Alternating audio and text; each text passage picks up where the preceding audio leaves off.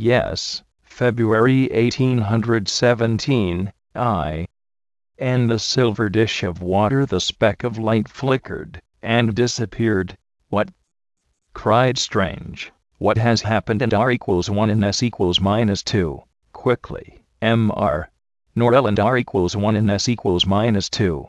Norrell tapped the water's surface, redrew the lines of light, and whispered a few words. But the water in the dish remained dark and still. He is gone, he said. Strange closed his eyes. It is very odd, continued Norrell in a tone of wonder. What do you suppose he was doing in Yorkshire? Oh! cried Strange. I dare say he came here on purpose to and R equals 1 and S equals minus 2, make me mad. With a cry of mingled rage and self-pity he and R equals 1 and S equals minus 2, demanded, Why will he not attend to me and R equals 1 and S equals minus 2, after everything I have done, why does he not care enough to look at me, too? Speak to me and R equals 1 and S equals minus 2. He is an old magician and an old king, answered Norrell, briefly. Two things that are not easily impressed. All magicians long to astonish their masters and R equals 1 and S equals minus 2.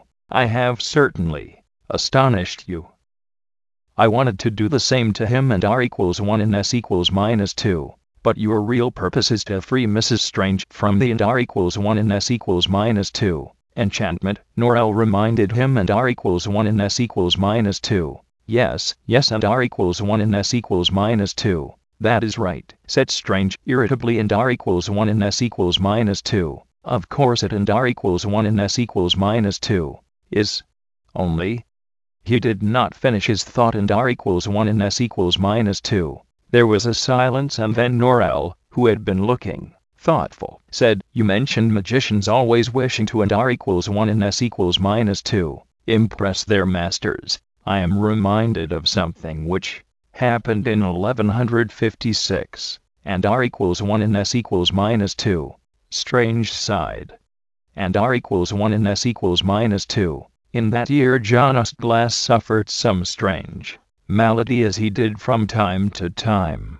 When he recovered, a celebration was held at his house in Newcastle. Kings and queens brought presents of immense value and splendor gold, rubies, ivory, rare spices. Magicians brought magical things, clouds of revelation, singing trees, keys to mystical doors, and so on, each one trying to outdo the other. The king thanked them all in the same grave manner. Last of all came the magician, Thomas Godbless. His hands were empty.